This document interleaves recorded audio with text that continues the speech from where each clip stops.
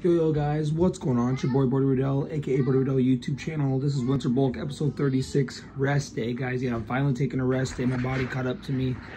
Um, sorry to tell you about this. I'm really sorry that I did not get, I got two workouts in this more one yesterday and then one this morning. So there will be a day in the life video um, Saturday and Sunday and maybe Monday. So a full day of eating Saturday, Sunday, Monday. Um, be on the lookout for those.